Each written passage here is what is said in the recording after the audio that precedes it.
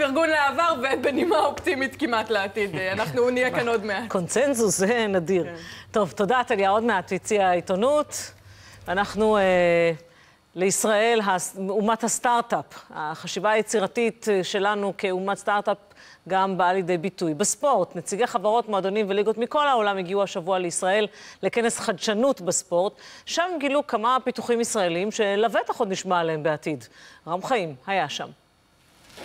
Sports technology is, is an evolving field right now, so it's uh, it's an important thing for us. We see a lot of developments, and uh, especially Israel. uh, If whatever technology is concerned, Israel is, is the place to be. אני שמח uh, על זה שכבר השנה השנייה אנחנו עושים את האירוע הזה ברציפות. זה מרמז על כך שיש פה איזשהו אוצר uh, בלום בתוך מדינת ישראל של הטכנולוגיה, אפשר להטמיע אותו ברחבי העולם בתחום הספורט.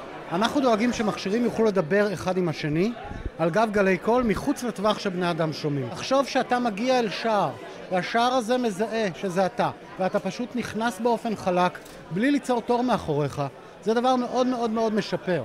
אין שום סיבה להשתמש במכשירים שדורשים ממך לפתוח מצלמה, לצלם משהו, לעשות, כאשר המיקרופון והרמקול שבטלפון שלך עובדים במילא. יותר מזה, אם המצלמה שלך תתקלקל בטלפון, הוא עדיין טלפון. אם יתקלקל לך המיקרופון, אתה תיקח אותו לתיקון. La Liga entiende la importancia de la innovación, entonces sí que trabaja por eh, desarrollarlo más adelante, ver otras oportunidades que hay en el mercado, porque la Liga desde luego recalca la importancia de- del mundo de tech. Uno de nuestros mercados estratégicos es Israel precisamente porque es un hub de innovación y eso vemos algo nuevo de innovación en la Habrá liga. sorpresas. Habrá sorpresas.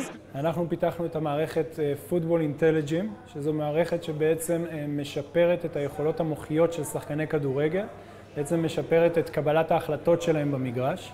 אנחנו עובדים היום עם אה, הרבה קבוצות באירופה, בגרמניה, בהולנד, באוסטריה, בארצות הברית, אם זה פס ואיינדובן, הילד הזה פה זה במקרה הבן של מרק ון בומל. שחקנים שמתאמנים עם המוצר שלנו עובדים מול תוכנת מחשב פעמיים שלוש בשבוע במועדון שלהם או בבית.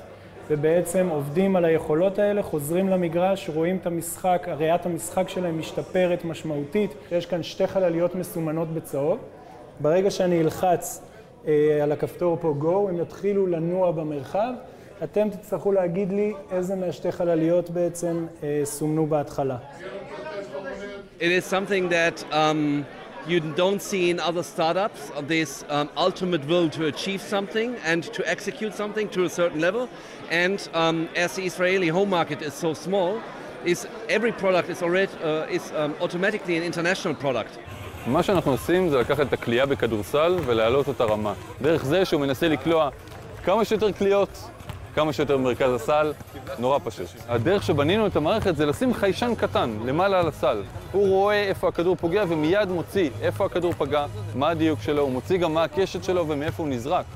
והמידע הזה ביחד מאפשר לשפר שחקנים. É um mercado bastante aberto a, a novidades, a, a novas interatividades, então acho que a oportunidade de estar aqui e conhecer novas soluções vai ter um grande potencial de uso no Brasil. חברת Pico, שאני חלק ממנה, היא פלטפורמה לשיווק ישיר של קבוצות ספורט עם האוהדים שלהם. אנחנו לוקחים את ה fan engagement ואומרים, בואו נייצר גם ערך לקבוצות. לא רק לתת בידור לאוהדים שבאים למגרש. אם אתה מסתכל עכשיו על המסך בסמי עופר, אז אתה רואה Man of the Match או MVP, ושלח את המילה MVP כדי להשתתף, ואיך שאתה שולח את זה, מתחילה שיחה. שהיא שיחה אוטומטית, ואחרי זה נאסף דאטה על, על, על, על האוהד שעשה את זה. והקבוצה תשאל אותו, מה תרצה? חולצה, כובע? אני יכול לקרוא לכם כיס כמדור הבא? אה, אתה יודע מה, אני לוקח את זה. לפני סיום, מבט ללוח השידורים שלנו בסוף השבוע. החל מרבע ל-12, אירוע הגל החגיגי לקראת